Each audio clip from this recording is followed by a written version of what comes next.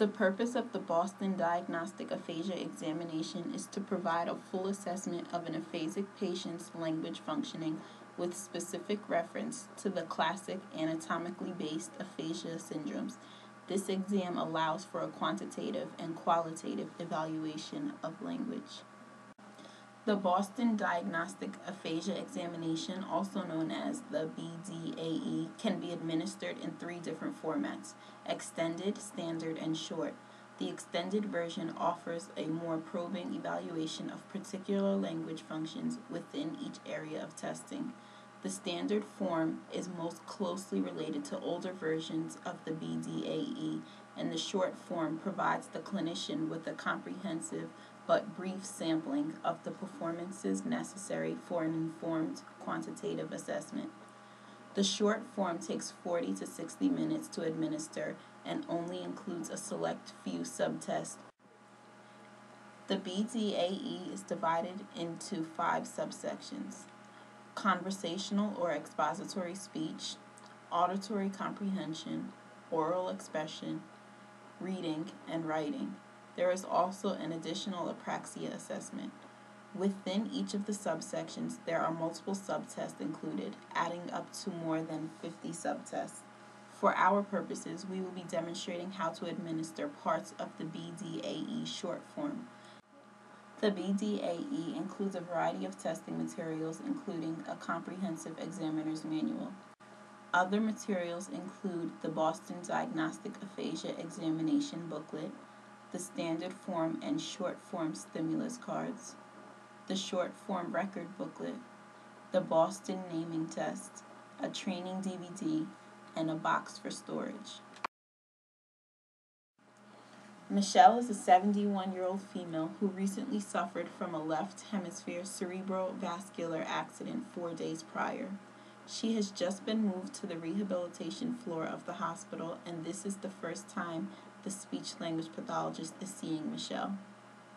The physician documented that Michelle is expressing associated signs of aphasia, which include anomia, agrammatism, agraphia, and alexia. She is expressing difficulty remembering the names of objects and people, displaying telegraphic speech, specifically characterized by pauses and omissions of grammatical words, and difficulty with reading and writing. Michelle has had high blood pressure and high cholesterol, which is likely to be the cause of her CVA, but is otherwise a healthy adult. She lives with her husband, Matthew, in a retirement home, and they have three children who visit frequently. Prior to retirement, Michelle worked as a lawyer. English is their primary language spoken. Conversational or expository speech for our purposes, we will be administering the picture description portion of the first subtest. Okay, tell me everything you see going on in this picture.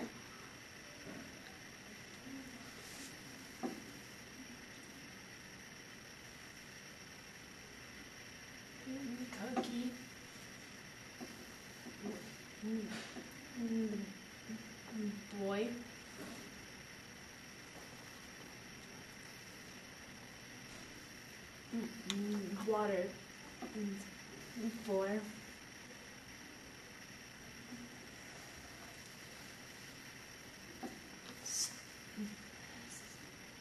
And stool. And not okay. Okay. Anything else? Dish. Good job. Auditory comprehension. For our purposes, we will be administering the complex ideational material task. Now I'm going to ask you some simple yes or no questions. Will a cork sink in water? No. Can you use a hammer to pound nails? Yes. Will a stone sink in water? Yes. Is a hammer good for cutting wood? N- and, n- and no. I'm going to read you a, a short story and then I will ask you some questions about it. Are you ready? Yes. Mr. Jones had to go to New York. He decided to take a train. His wife drove him to the station, but on the way they had a flat tire. However, they arrived at the station just in time for him to catch the train. Did Mr. Jones miss his train? No. Was Mr. Jones going to New York? No. Did he get to the station on time? Yes. Was he on his way home from New York? Yes. I will read you another one. Ready? A customer walked into a hotel carrying a coil of rope in one hand and a suitcase in the other. The hotel clerk asked, Pardon me, sir, but will you tell me what that rope is for? Yes, replied the man. That's my fire escape. I'm sorry, sir, said the clerk, but all guests carrying their own fire escapes must pay in advance. Was the customer carrying a suitcase in each hand? Yes. Was the clerk suspicious of this guest? No. Was the customer carrying something unusual in one hand? No. Did the clerk trust this guest? Yes.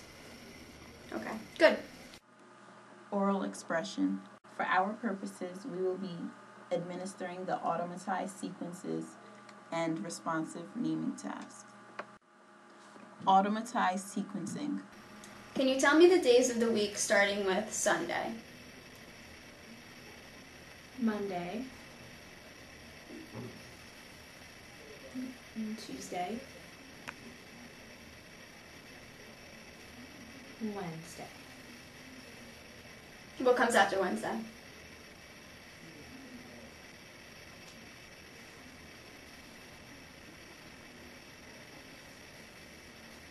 Friday. And that's the end of the week? Yes. Okay. Now, can you count to 21 for me? Starting with the number 1. Two. Three. Four. Five. Seven.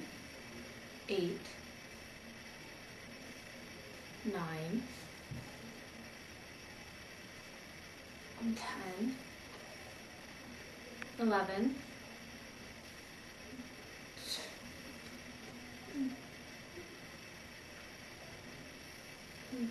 Twelve.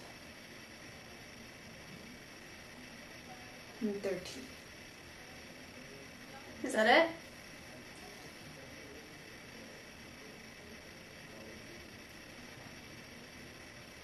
What comes after 13? Seventeen. Anything else?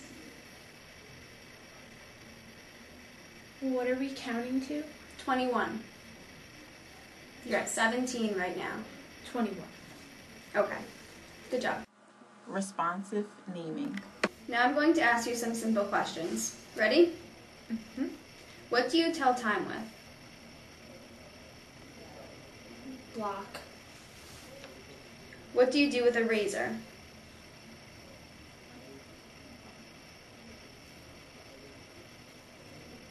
Mhm.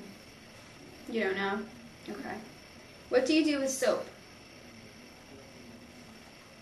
Hands. Wash. Okay. What do you do with a pencil?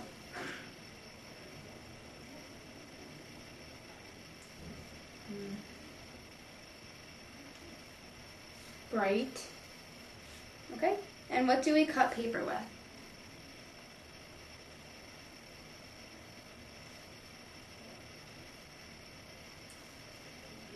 Closer. Okay. Good job. Reading. For our purposes, we will be administering the word identification, picture word matching. Okay, now I want you to point to the word that describes the object. Okay?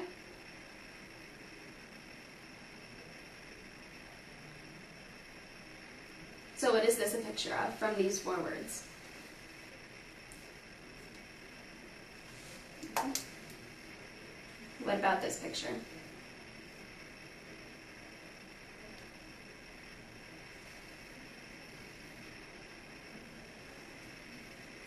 Okay, and this picture?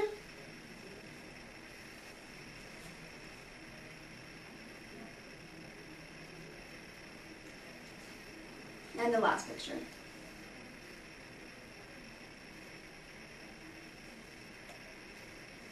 Okay, good job. Scoring complex ideational material. Most of the subtests simply require the clinician to add up the number of correct responses and to divide by the total to obtain a raw score. In the case of complex ideational material, both the A and the B questions must be correct to gain one point of credit for each numbered pair. Here, the client got three out of six correct. The summary profile of the short form subtest provides a visual profile performance on each of the subtests.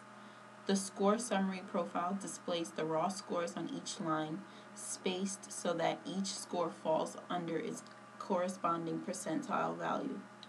The profile is generated by making a circle over the subject's score on each listed subtest. Connecting these points with lines makes the profile easier to visualize. We can see that the patient's score of a 3 out of 6 was obtained on the line for complex ideational material. Explanations for scoring can be found on page 18 of the record form booklet and on page 36 of the manual.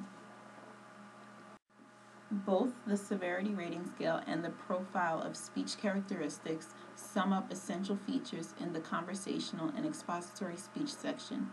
The severity rating scale is intended to assess the severity of communicative impairment in aphasic patients, but it is also applicable to other types of speech disorders. Explanations for this scale are found on page 26 of the manual and page 4 of the short form record booklet. The rating scale profile of speech characteristics is intended to bring together in a visually salient form the quantitative scales of the dimensions of aphasia that contribute the most critically to diagnostic classification. Rating scales are used for these variables because there are no satisfactory, objectively scored measures. At the foot of the rating page, the clinician has the opportunity to rate three important dimensions of speech output namely rate, volume, and voice quality, which may be related to the subtype of aphasia and may play a role in collateral diagnosis.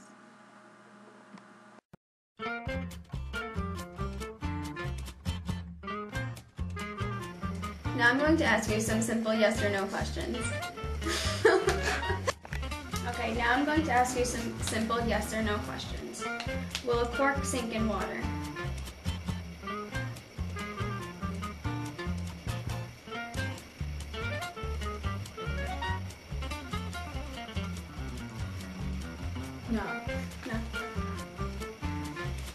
Use a hammer to pound nails? Now I'm going to ask you some simple yes or no questions. Will a cork sink in water?